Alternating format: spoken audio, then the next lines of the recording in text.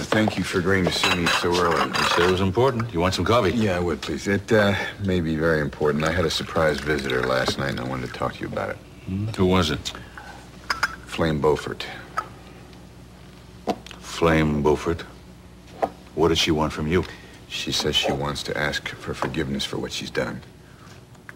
She wants forgiveness. I certainly hope you didn't give her that satisfaction. Of course not, but uh, I'm not the one she wants to forgive her. Then who does she... She wants me to forgive her? That's about the size of it. It's kind of wishing down the wrong well.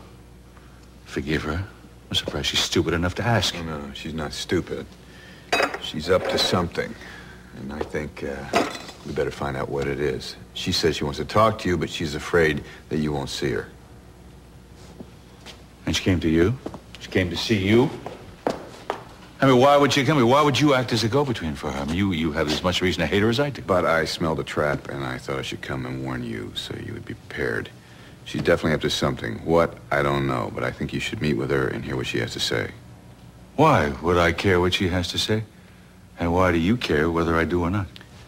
Because I think she's out to screw us both over. I'm trying to watch my back here as well.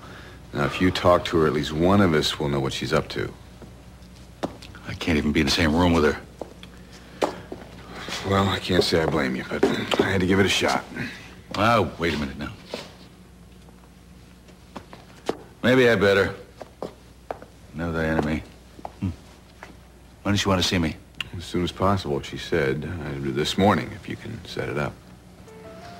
She certainly doesn't waste any time. All right, I tell you what, we'll make it at 9 o'clock this morning at the Polo Club, and I want you there. If she has any objection, you find out why. All right, I'll ask her and see what she says. I would like to be there myself, actually. Well, then you do it. You tell her it's an unconditional condition.